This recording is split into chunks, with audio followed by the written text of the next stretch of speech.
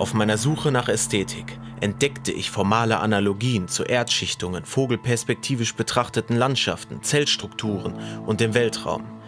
In den Strukturen erkannte ich Muster, die mich an Tiere oder Gesichter erinnerten. Der Austausch mit anderen über individuelle Assoziationen bereitete mir große Freude und ließ mich erkennen, wie viel Psychologie in der Betrachtung meiner Vivid Liquids Werke liegt.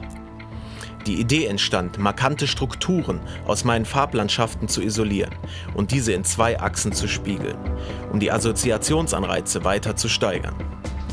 Symmetrie als Erkennungsmerkmal für komplexes Leben spielt hier eine zentrale Rolle.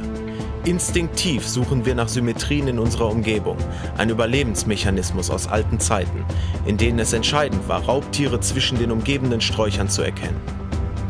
Das menschliche Streben, alles zu verstehen und einen Sinn zu geben, zeigt sich in der natürlichen Neigung, in den amorphen Strukturen der Vivid-Liquid-Symmetrien nach Analogien in der individuell-visuellen Erinnerung zu suchen.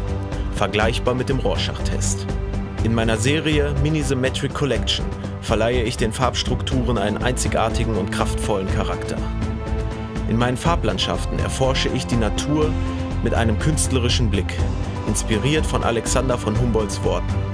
Die Schönheit der Natur entfaltet sich in der Seele desjenigen, der sie betrachtet.